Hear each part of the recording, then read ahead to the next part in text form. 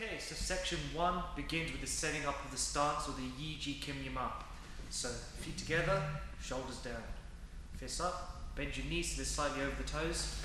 Open the feet as far as possible, then rotate on the balls of the feet.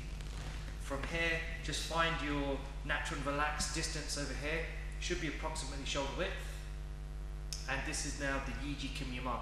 Yiji refers to the character two in Chinese, which is a short and long line. Okay, this, is teaching you the structure from immediately from when you start your stance. The next thing to take into account now is the five lines in the body that we're going to use as measurements to make sure that our techniques or the ones that we perform are at the correct angle.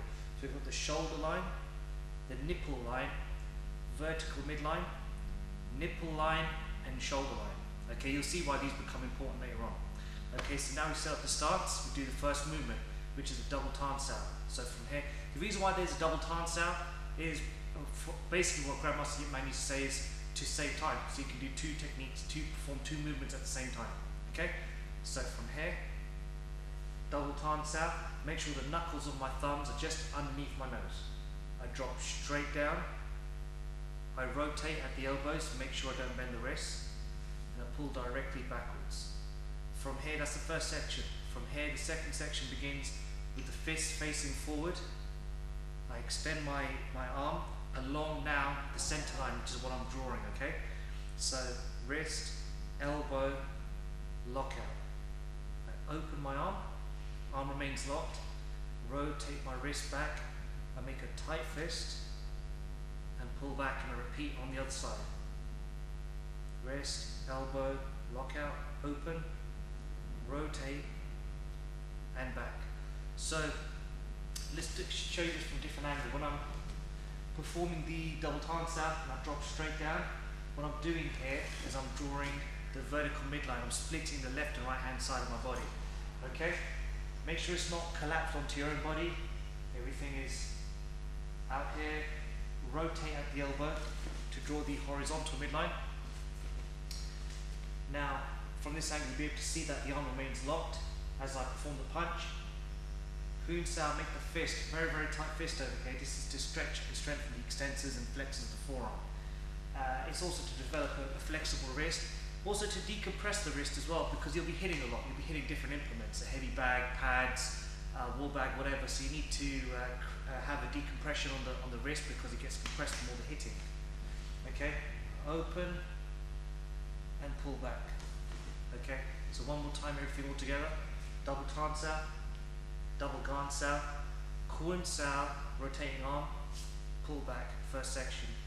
Second, the fist goes onto the center line, extend, kun sao, and back. Repeat on the other side, and back. So that's basic. Nothing else moves on the body except for the arms. Okay, so now when we do add the layers, this is going to allow us to use this in application. So, first, I perform the double sao. I make sure I get my back involved. I curl my back like a cat, okay?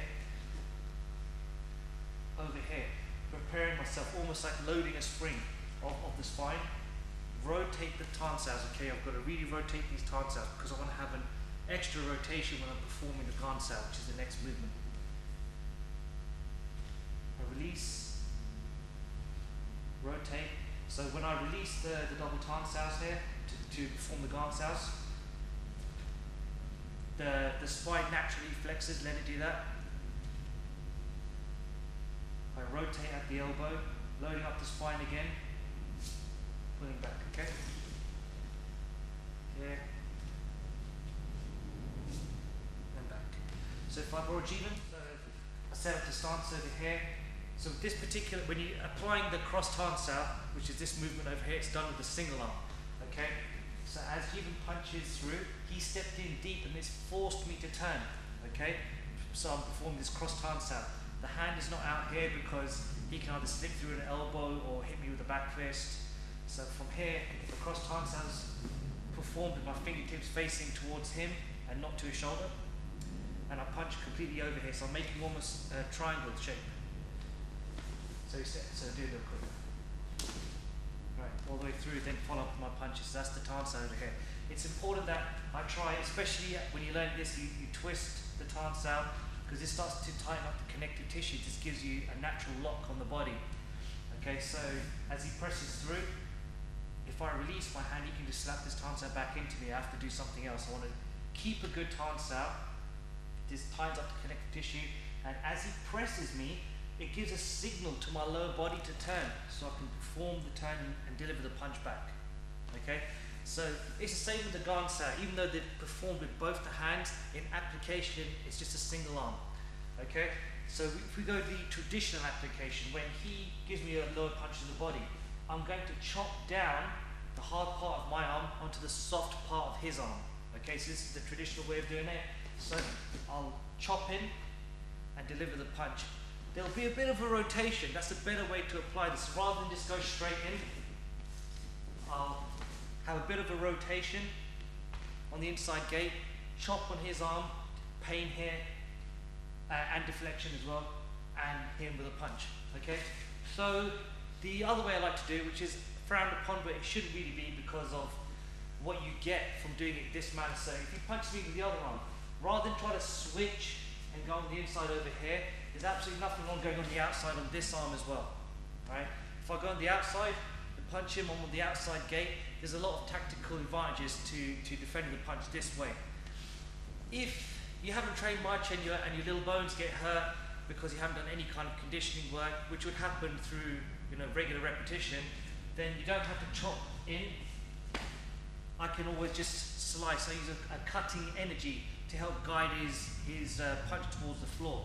So as he steps in, uh, there we go, right? Then if he punches properly, I can demonstrate it better. Yeah, right? So then you get to see uh, uh, how I can actually manipulate his energy, okay? So I can now slice him, I guide his energy to the floor while carrying up with my, with my tack up here. Finally is the, the Kuen Sao.